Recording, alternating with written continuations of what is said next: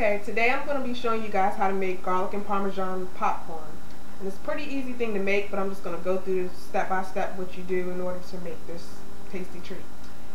The first thing you want to get is whatever container you're going to use to mix everything up. Now you can do it inside of the bag, but sometimes it gets more evenly distributed if you put it inside a container first. And you choose whatever popcorn you want to use. Then you make sure you have your Parmesan cheese, your garlic powder, and some parsley flakes. Now I already popped some popcorn in the microwave already. It's good to get it out when it's still really hot. I think it tastes better when you do it that way.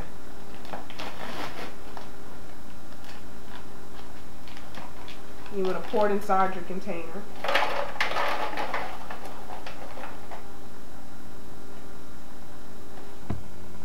Okay, once you have your popcorn inside your container, then you want to go ahead and add your garlic powder first.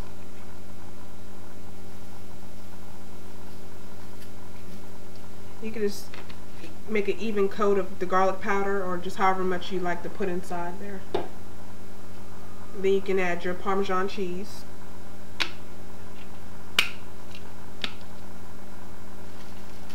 Again, just as much as you like to use, you can use. Okay. And lastly, you put on your parsley flakes.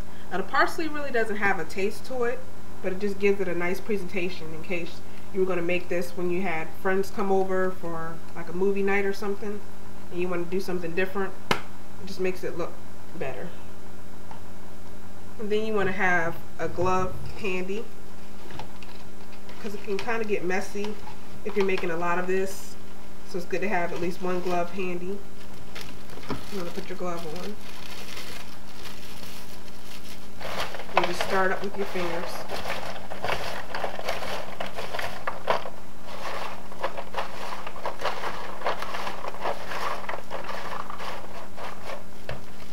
This should be pretty good.